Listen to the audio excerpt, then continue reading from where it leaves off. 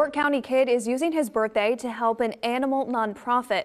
Corbin Shanabro organized a pet drive to collect donations for Borough Animal Response Crew, also known as BARC in York County. Donations will go towards BARC's food pantry that helps people who need food and supplies for their pets. Corbin exceeded his goal and was able to donate 800 items. Well, I like to help animals in need because I care about animals and want those animals out there that don't have anything to have something. What he has done, I am just so proud of him and so honored that he picked BARC to do this for.